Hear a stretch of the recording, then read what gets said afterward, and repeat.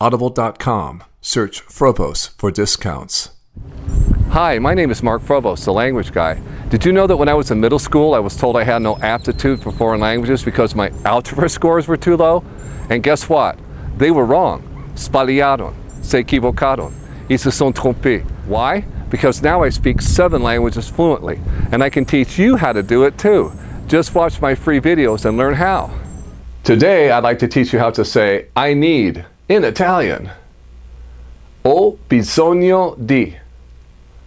Ho bisogno di.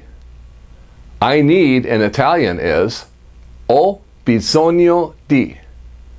Ho bisogno di. Audible.com. Search Frobose for discounts.